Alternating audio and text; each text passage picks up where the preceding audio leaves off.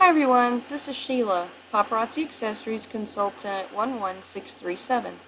And this video is to tell you a little bit about um, what to look for after you've placed an order or also for your starter kit you can uh, check on this item as well.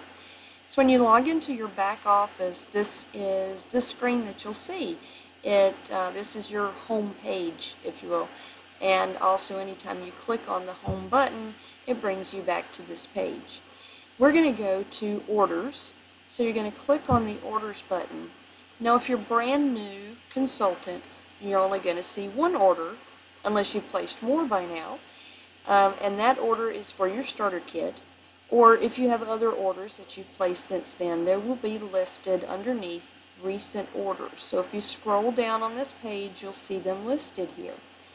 To see the order itself, you simply click on View, and it will bring your order up. This has some good information here for you. It will tell you when it was ordered.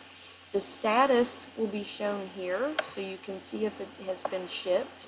It will also tell you how it was shipped, if it was shipped FedEx Ground or um, if it was sent out uh, USPS, so you'll know what to expect. If it has been shipped, you'll also see a pink button here that says track order. At this point, you can click on that. It will show you the tracking number, regardless of whether it's FedEx or USPS. You click on that link and it will bring up either the FedEx page or the post office and either way it will tell you when to expect your package. In this case, my package has already been delivered for this order, but if it had not been, it would tell me when to expect the order to be delivered. Okay, now another thing that you can do from this page is you can click on print. This will bring up your invoice. You'll have an invoice in the box when you receive it, but if you, for some reason, if you've already received the package, say, and you need to print a new copy of your invoice, you can click on that button and just simply print your invoice over again. I'm going to click cancel. One last thing that you can do here, excuse me, in your uh, with your startup kit, it's not going to show you pictures of items that are on their way to you because uh, it is your startup kit. It's just one kit. When you place an order though, you have individual pictures of items that you have ordered. So if you forgot to save pictures while you were ordering, you can save the pictures here.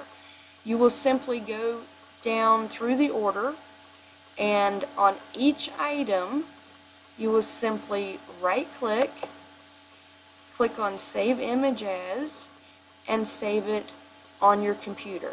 Now, of course, if you are on a um, tablet or a phone, um, you will do your pressing and holding and all of that in order to save it on whichever device you happen to be on. So you can go through and save all of the pictures that you maybe forgot to save while you were placing your order. I hope all of this has been helpful to you, and uh, we'll see you on the next video to talk about more stuff in the back office.